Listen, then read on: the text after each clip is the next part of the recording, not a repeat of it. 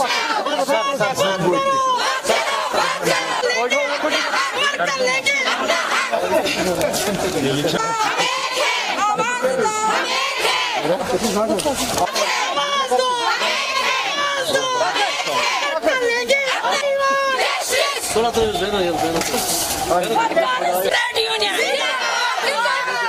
Caucasians, we have trade unions. Unity.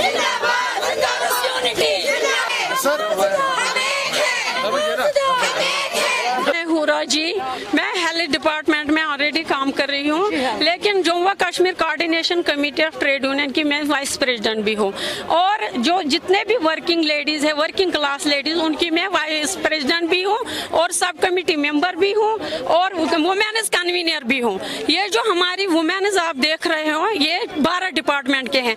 खासकर इसमें helpers to supervisor जो दो साल से तनख्वाहों से महरूम है।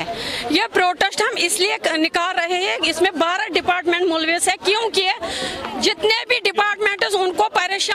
परेशानी है गवर्नमेंट ने उठाई है। जो इस वक्त लेबर लॉज महरूम में भी बिल पास के उसके हम एंटी क्लास है। एंटी क्लास उसके एंटी हम। क्योंकि हमारे मुलाजमों की बात ही नहीं कुछ सुनता है। हमें 24 घंटे ड्यूटी ले रहे हैं, लेकिन हमारे जो रूल्स है, जो हमें इंसाफ चाहिए जो हमें डिपार्टमेंट इसके अफसर रूल्स चाहिए उसके हम उसे इग्नोर है हम।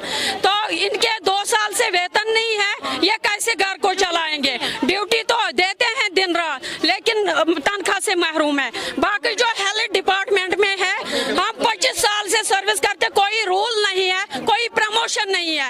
इन, इन, इसमें एमपीडब्ल्यू है इसमें है ऑल हम एसोसिएशन है इस वक्त मुलविस है इस एंटी लेबर बिल के खिलाफ इस एंटी लेबर क्लास के खिलाफ।